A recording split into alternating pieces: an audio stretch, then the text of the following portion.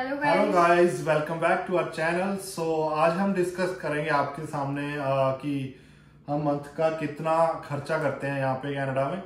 सो so basically ये है कि monthly expense in Canada so हम अपने खर्चे बताएँगे आपको कि क्या क्या होते हैं जो कि नेसेसरी है यहाँ पे। मतलब हम क्या बोलते हैं उसको आउट ऑफ़ द वे जाके खर्चे करते हैं वो नहीं बता रहे। जो कि करने पड़ते हैं। खर्चा है हाँ बेसिकली मतलब जो कि कपल्स यहाँ पे मतलब रह, रहते हैं तो इतना खर्चा तो होता ही उनका। तो हम स्टार्ट करते हैं रेंट से। हम इसको डिवाइड करते हैं। फ़र्स्ट सबसे ज़्यादा जो चीज़ होती है उसके बाद कम उसके बाद कम। सो so, पहला है रेंट जो कि सबसे ज़्यादा होता है। तो हम बेसिकली ओंटारियो में रह रहे हैं।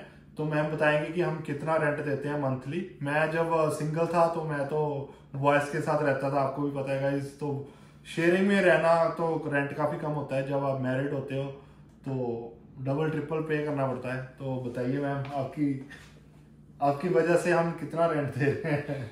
सो so, इस वन बेडरूम बेसमेंट का जो रेंट है दैट इज़ 550 जो कि Indian five fifteen fifty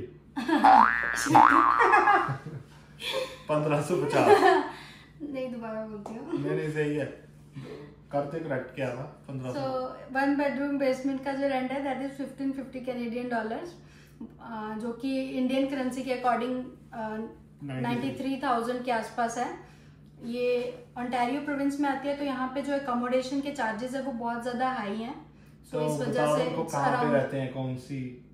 Brampton Brampton सो अभी हम फ़िलहाल ब्रैम्पटन में रह रहे हैं. तो ब्रैम्पटन में अगर आपने नई बेसमेंट खरीदनी है वन बेडरूम तो उसको अप्रोक्सीमेटली 1600 के आसपास रेंज चल रही है 15 से 15 से start 16 के आसपास मतलब जो पुरानी बेसमेंट में है वो भी अब 1400 हो गई है ना? 1400 के अराउंड हो गई है जब से रिसेशन स्टार्ट हुआ है जब से घरों के इंटरेस्ट बढ़े हैं। तो जो one bedroom basement private basement लेनी है कपल ने तो 1400 तो स्टार्टिंग की है और वो पुरानी वगैरह मिलती है। तो ये थोड़ी नई थी थोड़ी क्या मतलब न्यूली बिल्ट थी ये। मतलब फ़र्स्ट रेंट हम नहीं करी है। तो इस करके हम इसका दे रहे हैं फिफ्टीन फिफ्टी डॉलर तो आप बता बताओगे इनको कि क्या क्या इसमें इंक्लूडेड है और फिफ्टीन फिफ्टी में क्या क्या है, मिल रहा है इनको? तो इसमें हमारे पास एक बेडरूम है लिविंग एरिया है किचन है लॉन्ड्री यूनिट है और हमारे पास वॉशरूम है टू पीस वॉशरूम और इसमें हमारे को एक कार पार्किंग का एक स्पॉट अवेलेबल है। प्लस इसमें हमारी यूटिलिटीज आती हैं बिजली का बिल पानी का बिल वो भी इंक्लूडेड है। यहाँ पे अनलिमिटेड वाईफाई है और और हमारे पास क्या है? दैट्स इट तो यही इंक्लूड है हमारी बेसमेंट में कि 1550 में वाईफाई वगैरह हो गया लॉन्ड्री हो गया ना पार्किंग हो गया। यूटिलिटी पार्किंग यही सब है। ये सब इंक्लूडेड है। हाँ। सो so, हमारा जो सेकंड एक्सपेंस है वो है कार तो राइट uh, नाउ right मैंने कार जो रखी हुई है वो है होंडा कोड जो मैंने ली थी फेब्रवरी में। वैलेंटाइन डे पे ली थी मैंने गाइस 14 फेब मेरे को याद है वो दिन नहीं तो 14 फेब को मेरे को मिली थी गाड़ी।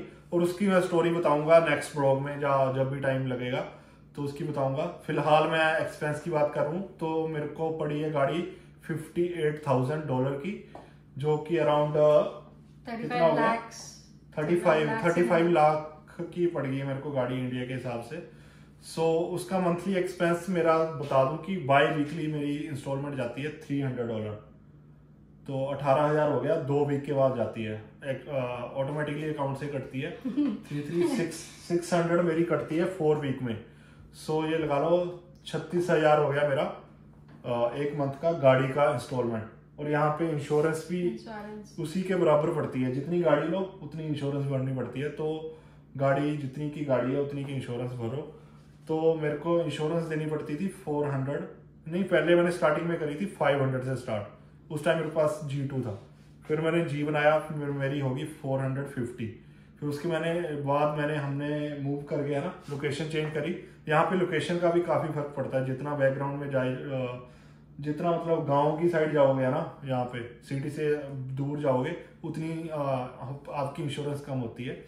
तो मैंने जैसे ही मूव करा तो अब मेरी है 350 सो मेरा टोटल मंथली कार का, अकेला कार का ही मेरा पड़ रहा है। 950 है ना? जो कितना हो गया?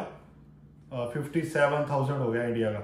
उसके अलावा गाड़ी का 300 डॉलर का मेरा लगा लो ऑयल का खर्चा है ना मंथली सो ये हो गया बारह सौ तेरह सौ डॉलर। और इसकी मेंटेनेंस तेरह तेरह सौ डॉलर लगा लो। तो तेरह सौ टोटल खर्चा है मेरा कार का मंथली एक्सपेंस तो ये हो गया दूसरा एक्सपेंस तीसरा क्या है? ग्रोसरी का। जो कि मेरा तो कम ही होता था जब से मैं आई है तो डबल ट्रिपल हो गया है। उसका भी एक लॉजिक है क्योंकि मैं वेजिटेरियन हूँ ये नॉन वेजिटेरियन है। सो so, तो... मेरा नॉन वेज आता है मैक्सिमम तो मैम खाती नहीं है तो इनका वेजिटेरियन तो हमें दोनों ग्रोसरीज करनी पड़ती हैं तो उसका जो खर्चा एक्सपेंस है वो अराउंड सेवन हंड्रेड से एट हंड्रेड डॉलर मंथली है जो, जो कि इंडिया के हिसाब से चालीस पचास हज़ार के बीच में चालीस पचास के बीच में रख लो ये। ग्रोसरी हाँ। तो ये ग्रोसरी का खर्चा हो गया उसके बाद आता है फ़ोन बिल फ़ोन बिल तो यहाँ पे आपको बताइए कि गाइज़ यहाँ पे क्रेज होते हैं आईफोन का तो मैम आई इनको भी आईफोन लेके देना पड़ा। फोर्टीन प्रो लेके देना पड़ा इनको भी मेरे पास भी आईफोन थर्टीन प्रो था। तो हम दोनों इंस्टॉलमेंट भरते हैं उसकी तो मंथली एक्सपेंस हमारा है one eighty one seventy one eighty one seventy eighty के अराउंड है। इंक्लूडिंग uh, uh, जो भी इंटरनेट वगैरह होता है। तो फ़ोन का खर्चा भी यहाँ पे गाइस कम नहीं है। तो ये भी दस ग्यारह हज़ार के अराउंड है इंडिया का। उसके बाद साथ में हमने जिम की मेंबरशिप ले रखी है। जो थर्टी फोर्टी डॉलर के अराउंड वो है मंथली जाती है जो। तो या यही सारे चार खर्चे है ना हमारे। तो ये जो तो all and all three thousand dollar से ज़्यादा हो गया। तो हमारा जो मंथली एक्सपेंडिचर है वो थ्री थाउज़ेंड से फोर थाउज़ेंड डॉलर के बीच में है। थ्री थाउज़ेंड प्लस ही है तो लगा लो इंडिया का दो लाख के अराउंड हमारा एक्सपेंस है जो कि नेसेसरी है। इतना तो करते ही है लोग। इसके अलावा आपके खुद के खर्चे हैं। आपने मान लो शॉपिंग कर ली क्लोथ वगैरह ले लिए कोई शूज़ ले लिए। बाहर डाइनिंग बाहर डाइनिंग करके कोई खाना। खाने जा मूवीज़ देखने पार्टी करने। तो उसका अलग है पाँच सात सौ हज़ार डॉलर वो आपका हाँ आउट ऑफ़ द बे जाके आप जितना खर्चा करते हो। बट बेसिकली हमारा जो मंथली हमारा मिनिमम जो खर्चा है वो मिनिमम खर्चा है three thousand plus which is आपको अब आपको समझ आ गया होगा कि इंडिया में बैठे हो जो लोग तो आपको पता लग गया होगा कि कनाडा में अगर सैलरी ज़्यादा है तो मिनिमम एक्सपेंस भी बहुत ज़्यादा है। कम नहीं है guys three thousand is not क्या बोलते उसको? पता नहीं। थ्री थाउज़ेंड भी गाइस कम नहीं है तो आप लगा सकते हो कि यहाँ पे खर्चे डबल ही है तो एक ही सैलरी तो सारे एक्सपेंस में चली जाती है। तो गाइज़ यहीं पे करते हैं टॉपिक एंड यहाँ का। ये था टॉपिक हमारा एक्सपेंस के बेस पे। सो so, अगर आपको कोई क्वेश्चंस है एक्सपेंडिचर के रिगार्डिंग या किसी भी तरीके में कि कितना खर्चा आता है किस कैटेगरी में तो आप हमें कमेंट्स करके पूछ सकते हो। Please subscribe the channel and like the video please please please guys हाथ जोड़ के बेनती है।